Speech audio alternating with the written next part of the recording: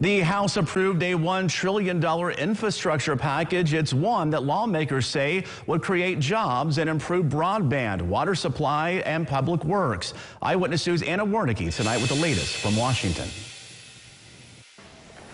Finally, Infrastructure Week. President Joe Biden took the podium Saturday morning beaming. I'm so happy to say that. The president praised the House for passing his $1.2 trillion infrastructure bill late Friday night. A bipartisan infrastructure bill, a once in a generation investment that's going to create millions of jobs modernize their infrastructure. And the bill was bipartisan. 13 Republicans voted for the bill, and six progressive Democrats voted against the measure because they wanted a social spending bill passed with it.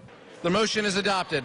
New York Republican Congressman John Katko said he voted yes because the bill, quote, includes responsible measures to pay for its spending and has been projected to spur significant economic growth. So disappointed in 13 of our colleagues that just enabled it. Florida Republican Congressman Mike Waltz told Republicans in Las Vegas that his party now needs to focus on blocking the rest of the president's Build Back Better plan. The first thing we have to do is to stop this massive socialist spending bill. We're just getting started. The president says he's confident Congress will pass the nearly $2 trillion social spending bill when they return from recess on November 15th. From the Washington newsroom, Anna Wiernicki, Eyewitness News.